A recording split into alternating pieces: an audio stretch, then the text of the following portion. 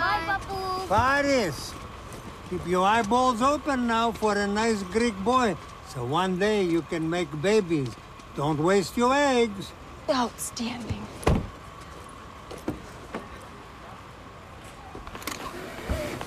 Paris, Papu didn't mean to say anything hurtful.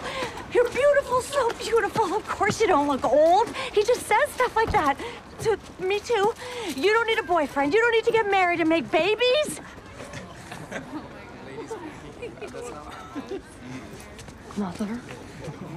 When did my name change from Mommy. to Mother!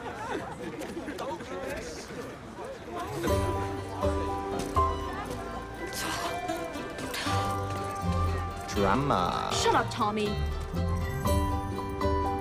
I guess when my daughter started to pull away, I should have retreated.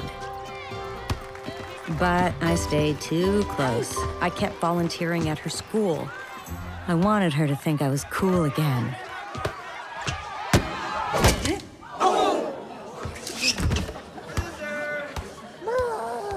Then I remembered I've never been cool. Here comes the principal.